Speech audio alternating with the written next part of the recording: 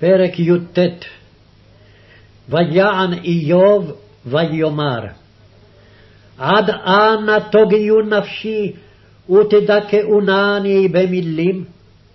זה עשר פעמים תכלימוני, לא תבושו תחקרו לי.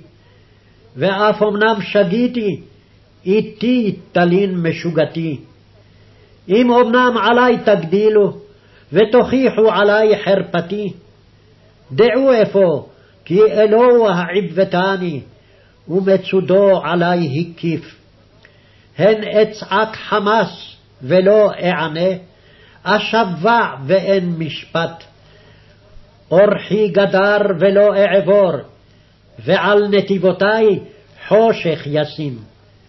כבודי מעלי הפשיט, ויסר עטרת ראשי. יתצני סביב ואילך, ויסע כעץ תקוותי. ויחר עלי אפו, ויחשבני לו חצריו.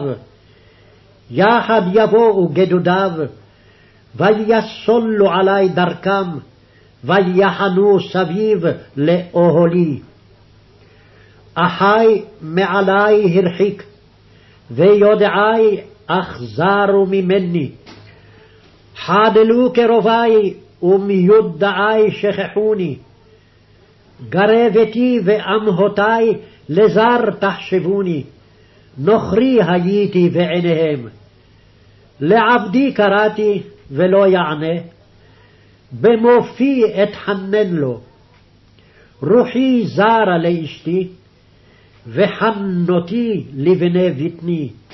גם אבלים מה עשו בי, אקומה וידברו בי.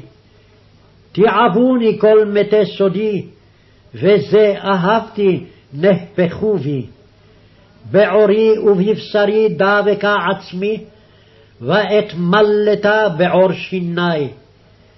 חונוני, חונוני, אתם רעי, כי יד אלוה נגעה בי. למה תרדפוני כמואל, ומבשרי לא תשבעו? מי ייתן אפוא ויכתבון מילי? מי ייתן בספר ויוחקו? בעת ברזל ועופרת, לעד בצור יחצבון. ואני ידעתי גואלי חי, ואחרון על עפר יקום. ואחר עורי נקפו זאת, ומבשרי אחזה אלוה.